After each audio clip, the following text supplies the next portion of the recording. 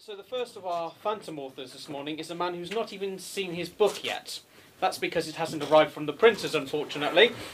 So we please welcome the author of Operation Hate: The Truth Behind the Killing Stone, Mr. Richard Franklin.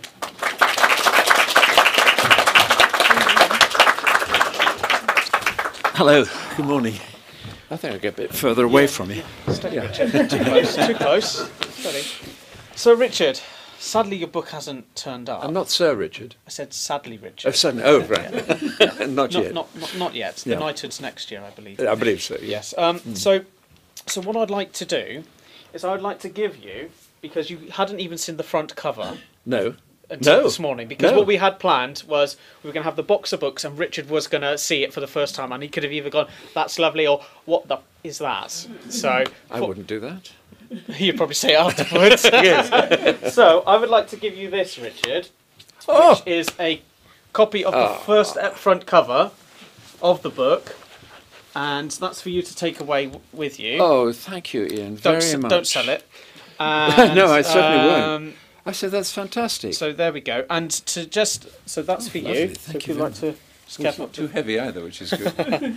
And just to let you all know, you can order the book today from Richard upstairs. you will order the book today. And what we'll do, it will be a dedicated signed copy which we'll get in the post to you. So if you order from Richard upstairs, and also to take away from you is um, a printed copy of two chapters, which lets which takes you into the story and leaves it on a nice little cliffhanger. So we will speak more about that. So, and those are free to take with you when you order the book. Fantom um, um, Films Limited are the only publishing company I know who can reduce 100 pages into, into a little thing like this. We won't say about your writing, Richard. It's Yeah. fine. so, Richard, without giving too much away, and if you can remember, what is the story about? What, what, what, what Which story? this story? You know the one you wrote. Oh, yeah, yeah. Okay. What's it about? Yes. It's um, a ripping good yarn. That was the description that um, a certain well-known producer, uh, how he described it when he, when, when he saw a very early, early rough. Um, it's, um, it features a character called Captain Martin Bigglesworth, otherwise known as M. And uh, you can probably gather from his name that um, uh, he, uh, his name actually echoes certain iconic heroes of fact and fiction. Captain Martin Bis- Bigglesworth. And um, he has had an extraterrestrial experience with his colleagues um, who work for um, uh, an organization called it's called Stop It, S T O P I T. Now I've just got to see if I can remember what Stop It stands for. Well, we won't say. You can find out in the Yes, book. indeed. That's right. Thank you very much. He's let me off the hook. My memory. But Stop It is a is a is a, an undercover organisation that deals with alien attack, and um, Captain Martin Bigglesworth is um, a um, a particularly efficient young officer, um, and he is surrounded by very uh, uh, interesting, uh, colourful, um, small group of colleagues and uh, they usually win because um, evil, uh, good usually beats evil. I nearly said it the other way around. Would be a bit cynical. Maybe in wouldn't the follow-up. Maybe in the perhaps that might follow-up. Yeah. Oh well, yes, indeed. Um, there's uh, most definitely there's most definitely a follow-up that um, that that, that uh, you might want to follow up later. So that yes, there you go. Okay. So that's what it's about. It's about Captain Martin Bigglesworth who leaves his colleagues with great sadness because uh, there has been um, an event in one of the other encounters that Stop It has had in which the judgment of Captain Martin Bigglesworth uh, has been put slightly in doubt. And he is very sad to leave his colleagues, and his colleagues are very sad to lose him. So he goes back home to Yorkshire, and he's just going to start again, put it behind him, move into the future. but while he's there, something happens of um, a very mysterious nature, and he realizes that he is on the brink of yet another extraordinary adventure which he does not want to share with his Stop It friends because he wants to prove to them that actually he is 110% capable of um, continuing his work. And that is what the story is about. Oh, thank you, Richard. Gin? Um, Yeah, no, Gin. water on Well, water's very nice. Thank you very much. I mean, it's very good water here, actually. I'm telling. Richard, did What? you say gin? A gin? From Dexter. You think Dexter would buy you a gin? No. Yeah. there you go. Wishful Yeah, thinking. So, how long, Richard, did it take you to write, and how many drafts of the book were there? A lot. A lot. There I were, mean- wasn't there? Uh, uh, yes. Uh, well, that was rather, yes. Uh, th- that's an in joke, and it's not a very nice one, actually, because I kept on changing. Well, I mean, I think an author has got to. I, I'm a perfectionist, and that I know is a bit of a cliche, but you know, you write something and you're very pleased with it, and then you stand back from it and you look at it, and you think I could do better than that. And I really have tried very hard in this book, not just to give you a, a, a trashy little sort of tuppenny thriller. I've actually tried to uh, give something with a, a wider vocabulary than usual, with um, uh, more information um, about interesting things and ideas, social, political, military. What I will say is that every version that you did change, it got better and better. So you did improve it because you, you knew that even if it was a subtle change, it changed. That subtle change helped shape the story and create it into a much better shape. The words of thank you. The words were very carefully chosen, and um, you know, um, I don't. Uh, some people, uh, funnily enough, there's a, a friend of mine who's writing a novel at the moment. Um, nothing. I mean, I was in Doctor Who, as you know, but um, uh, his novel has absolutely nothing to do with with science fiction or Doctor Who. But um, uh, I was talking to him. We, we share a dressing room actually in the West End. We're both understudying in The Woman in Black, and um, he's read me a chapter. He read me a chapter of his book, which is very good, um, very precise, very psychological. And yesterday, uh, he didn't speak to me at all in the dressing room. He was just looking at his computer, and um, I said, "You've been writing?" uh, When, when it came to going home time, and he said, "No, I've just been uh, researching this, that, and the other." And his his form of writing is completely different from mine. Mine is a very emotional outpouring, and I look at it and I think, "No, come on, we've got to cut that, add this, tweak that." He tells me that having done his research, he writes it and that's it. He doesn't touch it. Would you would you say that's a bit because you that's because you're an actor that you've approached the writing of your book from an actor point of view where like each each version of your book is like a rehearsal and then you change bits in rehearsal to get the best performance which is the That's a very version. interesting analogy, actually. But this friend of mine is also an actor. Mhm. But no, I mean uh, Noel Coward, for instance, he wrote um, um, he wrote um, I shall forget my own name. Four-hander.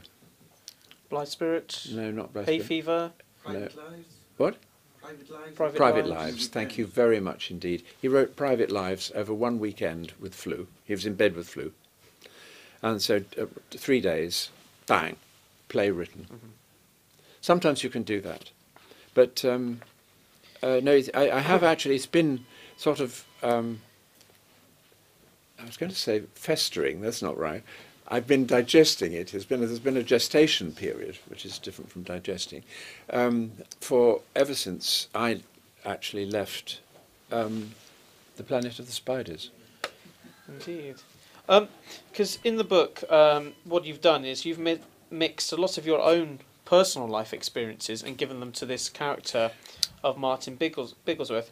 Would you say that Martin Bigglesworth is an extension of yourself in a way? Well, if I say that, you'll think I'm the most cocky person out, actually, because Martin Bigglesworth is a cross between Biggles, 007, um, if you like, Captain Mike Yates, and Richard Franklin. So, if, uh, you know, I've, it is a little bit tongue in cheek.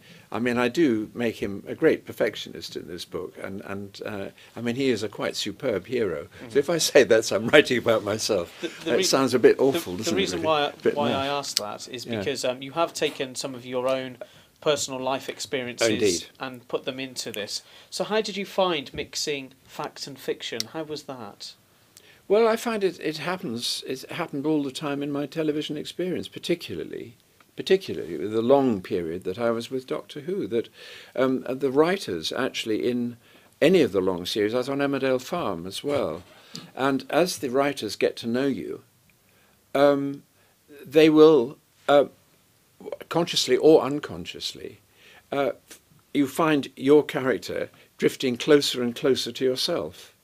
Um, I give you one very clear example. Actually, this is uh, not an Emmerdale Farm example, it's a Doctor Who example.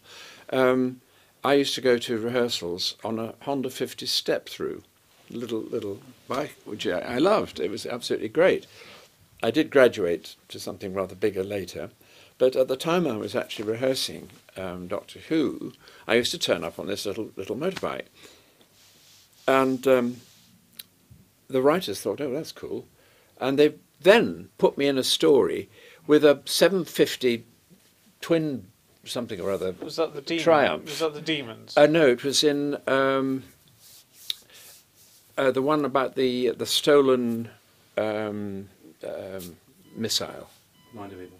Mind of Evil. Thank a you Doctor very Who much fan indeed. in the room? Wonderful. You are the most wonderful audience. I mean, if you'd like to come and sit here with me, and, and uh, you're the best prompter out, both of you. Wonderful. Um, yes, no, it's in the Mind of Evil. And they put me on this bike, which at that stage was much too big for me to handle. I mean, they're very fast and powerful. Lovely bicycle. And um, I don't know if you remember that scene, if I can remind you of it. Um, uh, Captain Mike Yates is, is looking through a hedge, watching uh, the the baddies uh, nick the, the the missile, and then he gets spotted, and he realizes he's been spotted, so he rushes back to his bike, and the shot should have been me pushing the bike, bump starting it down the road, which I did incredibly bravely and all the rest of it. But then what happened was I fell flat on my face, and the bike literally went woof straight off. It must have gone, I should think, at 200 yards at least down the road before careering off the road and did a certain amount of damage, I fear, to the bicycle. But they assumed that, you know, I was, I was the sort of uh, uh, king, king biker. Do uh, come and sit down, Take and um, as long as you don't obscure the... Oh, you have? Briefly. Uh, twice. Fine to sit there. Just, just have a seat, guys. That's fine. That's perfectly all right, don't worry. Thrice. no, the back of your hat, I think, is much more interesting than the front of my face, probably. But, uh, so that's fine. Okay. Um, Good. Richard, Yeah. um, without giving too much away about the actual book, you've actually dedicated it, which I thought was quite sweet and lovely of you. You've dedicated it to your fans. Oh, yeah. Um, how important have your Doctor Who fans been to you over the years, and do you think they will find any sort of allusions or references possibly to Doctor Who within your book? I think it's very possible. I'll say no more. I'll say no more. No, um, the whole point about the fans, I've dedicated to the fans, that's you. Well, I presume it's you. Um, uh, I think I put past, present, and to come because, and, and this is not just an actor being creepy and sort of trying to ingratiate himself with, with um, the public. Um, if it hadn't been for the fans, not only I, but none of the Doctor Who people would, uh, who've done past stories would be here now. I mean, we really um, are hugely indebted uh, to you, not only for the fun that we have, all of us, you and us, I hope, uh, with the Doctor Who conventions and the Doctor Who spin offs and the literature and all that, but actually the work. And um, uh, you know, you have made it a cult show. You have actually made it. Um, well, uh, probably the most famous television series in the world, bar none. But Actually, can I just uh, put in? You say the fans have done that, but surely you, as one of the actors, and all the other actors have helped do that equally as well. Oh well, I hope very much so. And I, I think we could all agree with that. Yeah, Yeah. We, that's a fiver you owe me later. well, yes, it's a two-way thing, Yeah. of course, but it's an extraordinary family. Um, without giving too much away, do you have a favourite part of the book that you really enjoyed writing, or made you chuckle, or you thought, "Yes, I really enjoyed that. That's going to go well." Yes, actually, um, the bits that I particularly enjoyed were the just very little tiny bit tongue-in-cheek descriptions and relationships with the other characters in my past theatrical television life, because um, I've certainly brought them into it. Um, um, shall I say, I've drawn on my relationships, uh, which were all extremely good and friendly. And um, I think you'll find, I mean, I hope that it's, it's a book that you really want to read. And when you see this, uh, these two little chapters, I hope you'll think, yeah, I want to read more. What happened before this started? Um, I hope you'll feel that. But, and I hope it's quite uh, mystifying in parts, but also it's funny. I, and I tried to make it funny, and I've tried to make it um, instructive. I won't say educational, but that, that, that's but, no. But I mean, you know, the thing is this: that one of the experiences that I draw from is actually uh, when I was um, an undergraduate at uh, Christ Church, Oxford. Um, I went off on a on a, um, a tour with a paint box and a pair of jeans to Morocco, and I had an absolutely amazing experience meeting all sorts of people. And I haven't put the half of it in here, but I hope that what I have put in and brought it into the story, um, you know, will be will be of interest. Um, I should say that the story begins in the Chiltern Hills, in Berkshire, um, which has a childhood memory for me, very strong one, um, and then moves into Yorkshire, where indeed I lived. Uh, I'm an eighth Yorkshire, I'm very proud of it. Um, it then takes off to Morocco. Um, by a strange chance, uh, we find ourselves in Edinburgh, and it ends up uh, in the weigh-in shop in Harrods. So it's quite, there's quite a bit of variety. There's quite a bit of stuff going on there. You've actually quite preempted my next question quite Good. nicely. Um, You put me on the hot seat. I put you on the hot seat. so lots of people say Yeah. that uh, books can transport them to other places and other times, and, and people can lose themselves in a good book. Is this what you hope will happen to the reader? Definitely. I mean, I hope that, uh, that it is more than a tuppenny thriller. That's I hope. Yes, uh, maybe there are thoughts, um, philosophical thoughts. Maybe there are um, geographical thoughts, uh, and, and and things that that you might want to follow up. Um, do we have any questions that you'd like to ask Richard at all? No? Stunned Okay. into silence. Don't. Oh. Oh. yes, that's a good question. What was it like working with Jon Pertwee on Doctor Who? Uh, well, uh, he's a great comedian. Uh, he's one of the three funniest men I've ever met, actually. Um, he was a great raconteur. I mean, his storytelling was fantastic. Um, the the who are the other two people? Well, one of them, um, and actually neither of them, I'm afraid you will know, so there's no point in my mentioning them really. One was a theatre director called Peter Dews, who is now dead, who directed the Birmingham Rep when I was there. And uh, the other one um, was uh, my assistant director when I ran a company in Cumbria called the Renaissance Theatre. But these all three people who I can't do it, I don't know whether you can do it. Uh, uh, he, he was, they were natural stand-ups, actually. I don't know. I mean, the good stand-up comics can be absolutely amazing. I, I don't know. They could just um, can um, uh, Dodd Doddy was Yes. absolutely amazing. I mean, he, you know, uh, do you ever see a program? I was on television uh, quite a while ago, actually, in which uh, an audience, an invited audience of theatricals, um, asked questions to various people like Ken yes, Dodd. yes. Uh, it it, was an audience with. So Oh, you'd have an with. audience with Ken Dodd, an audience with so and so, and But amazing. I mean, completely off the cuff. These people come out with the most fantastically elaborate jokes. Jon, uh, Jon P was like that. But he could be tough as well. He was uh, got very sniffy if um, you didn't know your lines. He wasn't the only one who got sniffy about it either, actually, because um, we had a very low budget in those days. And of course, uh, but even now, they, they don't like to spend money unnecessarily, but they do have a million pounds where we had 2,000. So, um, you know, it was um, uh, every minute counted. Um, and I'm jolly well going to get my own back on Jon because he could be sniffy if I had three takes. Normally it would be one or two. But he had seven takes once. well, I'm afraid time has beaten us. Um, please do come upstairs and come if you've got any more questions you'd like to ask Richard. Richard will be here for the next hour and a half or so. Um, please come and order the book. We're giving away sample chapters as well. So please come upstairs and have a look around. So thank you very much. If we could just show our appreciation to Richard. Thank you very much. Thank you. Thank you very much. It's a, a very brief sort of encounter, so to speak, if I can coin a phrase. Um, uh, but obviously, we, we, we, we hope to sell the book. But I hope you enjoy the book, and I hope you'll read it.